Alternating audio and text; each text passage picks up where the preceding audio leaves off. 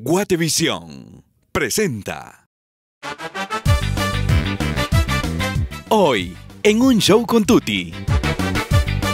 no va contra Dios que yo haya tatuado mi cuerpo. Yo tatuo mi cuerpo porque significa algo para mí. Y Dios, yo no creo que Él me va a juzgar y va a decir, tú, tatuada, al infierno. que con mis hijas no lo he podido hacer porque me cuesta pues. Mi opinión es que cada quien debe hacer lo que le nazca, que son libres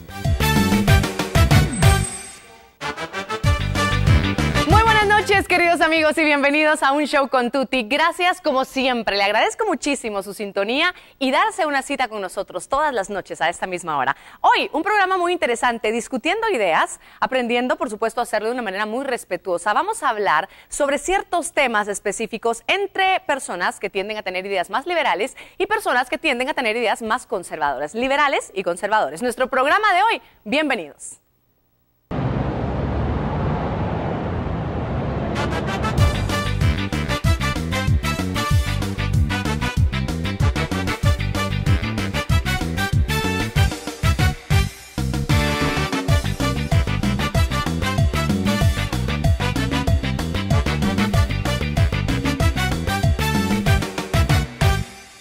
Queremos generar una discusión muy respetuosa, pero muy abierta también, sobre todo respetando el punto de vista de cada uno. Y me da mucho gusto presentarles a quienes hoy me van a ayudar a conocer un poquito más sobre estos temas según su punto de vista. Y ellos son José Toriello. Gracias, José, por estar con nosotros. Bienvenido, buenas noches, ¿cómo estás? Hola Tuti, muy bien, gracias. Gracias por estar con nosotros. Eduardo Álvarez también. Eduardo, bienvenido. ¿Cómo estás? Bien, gracias Tuti. Qué bueno. Me gusta estar aquí en esta noche. El gusto es mío tenerlos aquí. María José Terraza Sánchez, ella es actriz. María José, bienvenida, ¿cómo estás? Gracias, mucho gusto, bien. Qué bueno. Contenta. Gracias por estar hoy con nosotros. gracias. Y también Carla de Girón, gerente administrativo. Bienvenida, Carla. ¿Cómo estás? Gracias, Tuti. Muy feliz de compartir contigo eh, por la invitación que nos hicieron y dispuesta para un diálogo abierto y respetuoso. Yo creo que eso es importante, Carla, lo decías muy bien, porque independientemente que los hayamos sentado de esta manera, vamos a explicar que según lo que conversamos con ustedes vía electrónica y vía telefónica, eh, nos pudimos dar cuenta que ustedes mismos se ubican dentro de un grupo más liberal, ustedes dos, un poquito más conservador, ustedes dos. Eso no quiere decir que alguno esté correcto o incorrecto, al contrario, ambos tienen su punto, ambos viven sus vidas y creo que todos lo, lo que buscamos en la vida es ser felices. Y si dentro de mis ideas yo soy feliz, qué bueno, ¿cierto? Así que vamos a empezar a desarrollar, como habíamos dicho desde un inicio, diferentes temas. Y estos temas son los escabrosos realmente, los que nos cuesta. Sí, decimos con cualquier persona no hable ni de política ni de religión, ¿cierto? No vamos a hablar de política, vamos a hablar de religión, porque muchas veces es... eh, dependiendo cuál sea nuestra postura, puede ser un punto de desencuentro, cuando de alguna manera la espiritualidad o la religión debería ser un punto de encuentro, de amor, de, de- de apertura. Yo quisiera que empezáramos a discutir un poco de, por ejemplo, esas cosas que, dependiendo de la religión que profesemos, a veces se nos prohíben o se ven mal. Ejemplo, y voy a poner algo muy sencillo, por ejemplo, los tatuajes. Eh, ¿Sí? Pero es que, bueno, en mi opinión, yo creo que no tiene, yo soy católica, yo creo en Dios, o sea, uso mi rosario todo el tiempo y tengo cinco tatuajes y no tienen una, o sea, no va contra Dios que yo haya tatuado mi cuerpo. Yo tatuo mi cuerpo porque significa algo para mí. Y Dios, yo no creo que Él me va a juzgar y va a decir, tú, tatuada, al infierno. o sea, no creo que vaya de la mano. Dios es un Dios de amor y Dios acepta yo- en mi opinión, yo creo que en mi opinión todo, el problema es que las religiones creo que sesgan mucho y dividen y te hacen estar en un, en un bloque y decir, tú no puedes hacer esto porque, porque como estás tatuada no puedes venir a la iglesia y no puedes comulgar y eso es pecado. ¿Te ha pasado a ti Sí. eso? Sí, sí te han Sí, dicho. o sea, por ejemplo, una vez estaba en el supermercado y yo estaba sonriéndole a la vida y solo digo que la señora de adelante le dice, uy, mira esa de atrás, al infierno se va a ir por tatuar. No le estés viendo, no le estés viendo. Entonces yo me volteé y le dije, señora, al infierno se va a ir usted por estarme juzgando, le dije. Y me cambié de fila, o sea, y la señora la miré con el, el rosario y el denario y, y yo decía, y hasta se persinó, ¿verdad? Y yo, ¿ok? no es de Dios que me estén juzgando porque tengo un tatuaje. Me explico, Sí, creo sí, que no es justo. Claro, estas como otras muchas acciones, eh, como los piercings, como otras cosas, les pregunto a ustedes, ustedes en lo personal, porque obviamente no es que representen ustedes, eh, una, ¿qué religión profesan ustedes? Eh, casi nunca yo le he puesto apellido. Ajá. Yo me llamo cristiano. Ok. Asisto a la iglesia católica, Ajá. pero no le pongo apellido. ¿Y, co- y cómo, cómo tú evalúas, por ejemplo, cosas como estas, como lo que hacemos con nuestro cuerpo? Los Considero que lo que dijo María José, quizás eh, la iglesia en sí no le va a decir eso, porque la iglesia, principalmente ahora con el Papa, eh, él, él está trayendo a la gente. Él mejor dice, si tú vas a ir a la iglesia a criticar, mejor quédate en tu casa. Entonces yo creo que un miembro de la iglesia pudo haberle dicho eso. Habremos Pero- malinterpretado como miembros de una creencia, Exacto. una religión, ¿sí? Ajá, así es. Porque hace muchos años, eh, por ejemplo, en la iglesia evangélica, eh, se sentaban de un lado las mujeres, de un lado los hombres, y la mujer tenía que llegar cubierta y no tenía que llegar con otras cosas. Eh, entonces, hemos, por decir así, eh, nosotros mismos, los miembros, hemos hecho las normas, pero no Dios. Y eso a veces cuesta entender. ¿Cuál es tu posición, Carla? Eh, opino que mm, yo soy cristiana evangélica. He aprendido a través del Espíritu Santo, más no del hombre. Lo que dice la Biblia es que nuestro cuerpo es templo del Espíritu Santo. Y voy a cuidar eh, lo que voy a hacer con él. Y encuentro en la palabra de Dios que son cosas que no le agradan a él. ¿Verdad? Eh, como decía María José, son cosas que cada uno entiende, percibe, acepta y disfruta a su manera. Yo, como siempre lo he hecho, respeto mucho la opinión contraria a lo que yo creo, pero yo no me pondría nunca un ¿Tú tatuaje. no lo harías? No. Tú percibes tu cuerpo de una forma diferente. ¿Cómo, voy contigo, José, tú cómo lo ves? Eh, Yo digo, el pelo largo es un ejemplo. Eh, siempre mm, en el colegio tenía yo gente que me decía, cortes el pelo. Y yo no entendía por qué. Y mm, inclusive hago el chiste que hasta Jesús tenía el pelo largo. Así que en realidad cada quien debería ser libre de hacer con su cuerpo media vez no transgreda sobre el otro lo que le dé la gana, realmente. Y no entiendo por qué, digamos, Carla dice que son cosas que a Dios no le agradan.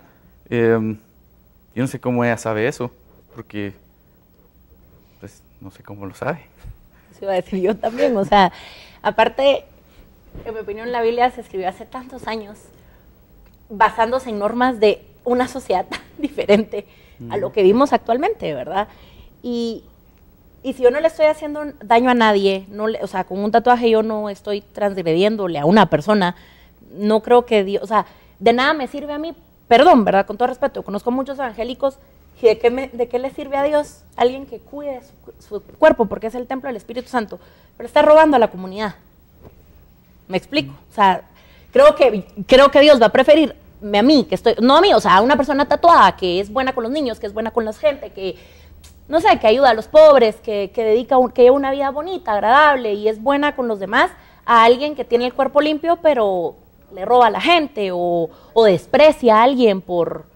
Claro, tal vez no es su caso, ¿verdad? Usted está diciendo que usted respeta y eso es algo muy bueno, pero no toda la gente religiosa respeta, no toda la gente, la gente te ve mal, la gente te critica, la gente, o sea, a mí me ha pasado muchas veces que porque tengo un arete en la lengua me dicen cosas bien feas y es como, hey, o sea, no tiene nada de malo, esto no implica que yo sea buena o mala persona. Carla, eh, cuando tú expones tus ideas, como lo hiciste ahora, eh, ¿has tenido también discusiones como estas en donde la gente te cuestiona de esta forma, por ejemplo? Sí, em, por ejemplo, siempre se dice que yo soy cuadrada, que debería ser un poco más como modernizada. Y yo siempre, siempre respondo que yo me siento bien como soy, ¿verdad? Eh, creo que es, es la base más importante de todo ser humano, que, que nosotros seamos muchas veces a como nos han creado. Yo fui formada por mi abuela mientras mi mamá trabajaba, entonces tengo como, si, bien se puede decir como ideas de antaño, podríamos llamarle así, eh, pero con una base sólida de moral muy, muy edificante. ¿Y, Y- y tu moral está basada en la religión, digamos? Mi moral está basada en la educación, en la cultura y el amor de mi casa, ¿verdad? Eso es lo que creería yo que, que fui, fue por donde fui guiada, ¿verdad? Y, y me siento cómoda así. Estoy, estoy muy feliz de ser así y mm, creo que todos tenemos eh, eh, una forma diferente de ver las cosas, ¿verdad? Y simplemente yo no discuto, yo, de verdad yo soy así, no me gusta discutir porque es que yo soy así, porque me siento bien. Ok, sí, José. Yo iba a decir que el problema, como yo lo veo con la religión, es que hace falta o no invita a las personas a cuestionarse las cosas, ¿sí? Porque uno puede llegar a, a determinada conclusión sobre cuáles son los valores que va a practicar, pero si nunca los, cuestiona y simplemente los acepta por dogma o porque así no los enseñaron en casa, eh, yo no sé realmente qué tanto termina uno realmente adoptando esos valores o solo emulándolos por miedo a transgredir lo que se nos ha dicho que se debe hacer. La- yo les quisiera preguntar cómo es o cómo está o dónde está Dios en sus vidas. Eh, voy a empezar contigo, María José. Dios es algo, para mí es algo muy importante. Es lo que guía, yo creo que es lo que me ha ayudado a, a, no sé, a ser exitosa, a seguir mis sueños. Es mi base, ¿verdad? O sea, yo tengo a Dios presente todo el tiempo, yo le rezo, yo lo tengo súper cerca de mi corazón, más no creo me he encontrado con muchos topones por lo mismo de la religión, ¿verdad? O sea, yo soy católica porque pues mis papás son católicos y me bautizaron, hice mi primera comunión y el día que me case me casaré por esa religión, más no estoy de acuerdo al 100% con muchas cosas de la religión. Ahora, como decía usted, con lo del Papa, con lo del Papa ahorita, él sí ha cambiado muchas cosas y aparte, por ejemplo, a este Papa lo súper admiro, ¿verdad? Por cosas que opina que digo, es que así debería de ser porque Dios es amor y Dios quiere que estemos cerca y Dios no quiere dividirnos, ¿verdad? Pero entonces yo, en tema de religiones, como es, soy católica porque pues, soy católica. Y así pareciera, como que la- los títulos de religión a veces nos separaran. ¿Qué opinas Nos tú, Eduardo? separan, nos separan. Es que ah, hay una persona, un un holandés, escribió algo en un, eh, eh, le dijo eso a una a su hija. El hecho que el ratón esté dentro de la caja de galletas no lo hace galleta, sigue siendo ratón.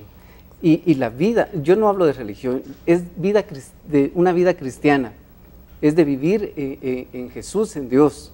Eso siempre he dicho, es de compromiso, no es de religión, es de compromiso. Y es que la religión nos separa. Por eso le dije al principio, yo no le pongo apellido. Claro. Yo me llamo cristiano porque sigo a Cristo.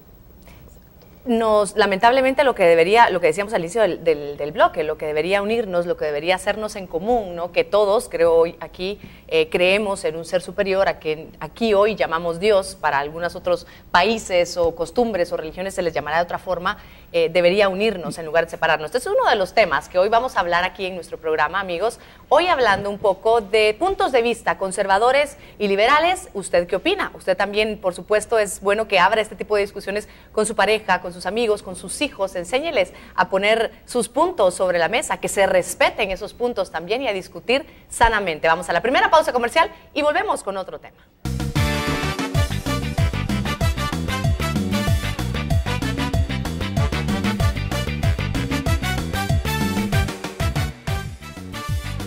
Al volver, no hay una- un mensaje muy claro Se de que en su casa sus papás, mire, usted está bien que haga las cosas, pero hágalas de forma responsable. Platiqué con mis hijas, no lo he podido hacer porque me cuesta pues.